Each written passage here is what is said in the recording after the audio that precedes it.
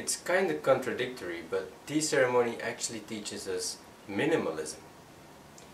Not only minimalism in objects and in possessions, as for example is portrayed with the rustic tea hut. Such a hut is um, created out of clay, basic um, parts of um, wood structure, um, papered wooden doors, um, etc. So the material is very primitive and um, very um, rustic, very minimal. Now that does sound a little bit uh, contradictory to what we're used to, well, in a contemporary uh, setting because building such a tea hut in a contemporary, well, nowadays, will cost a fortune. And the reason for that is basically that the materials that once were primitive and um, were more commonly used then than now have now actually become um, not only rare and expensive but also the techniques that were used to build those um, for example um, have become less practiced. So there's less craftsmen who can actually do it and make it. So in a contemporary setting tea ceremony has become something that seemingly may be quite um,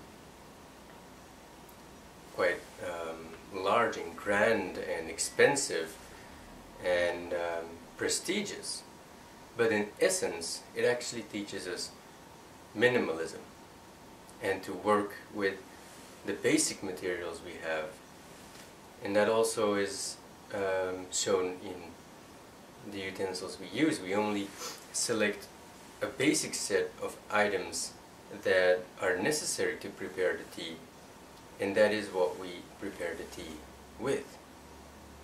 So we don't look for greater possessions or um, greater um, items or more items. Um, however, that certain tea practitioners like the great um, Toyotomi Hideyoshi, for example, who favored a golden uh, tea hut, um, may have pursued such um, interests, but in essence, it is minimal.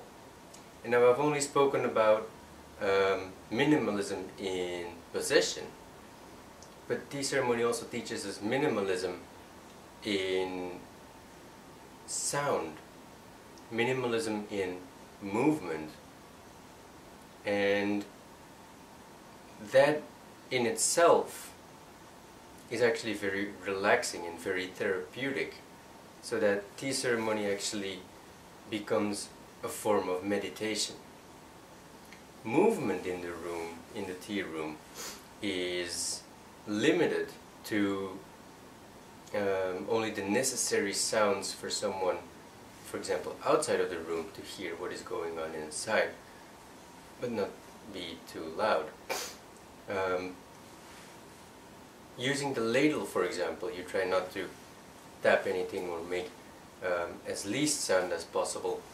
You try not to bulk and push um, the air out with a popping sound when you prop the ladle in the, the cauldron to actually um, scoop up a ladle of hot water.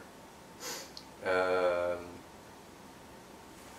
when you put the tea with the tea scoop in the tea bowl, you try not to make too many tapping sounds or scorching sounds when um, you um, bring the tea scoop in contact with the tea bowl.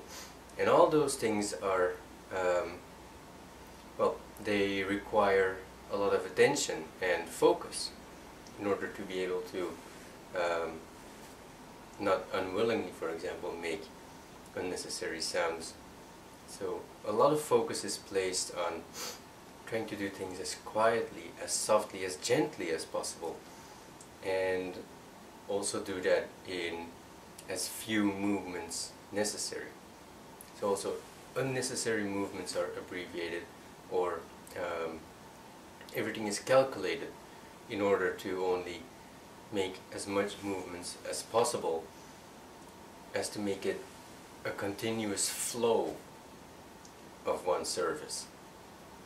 And doing all that and understanding all that and becoming aware of the simplicity in such a well grand looking ceremony or grand looking rite actually um, makes us more aware of the things that are around us and also soothes and relaxes our body and mind which um, in effect is somewhat a form of meditation.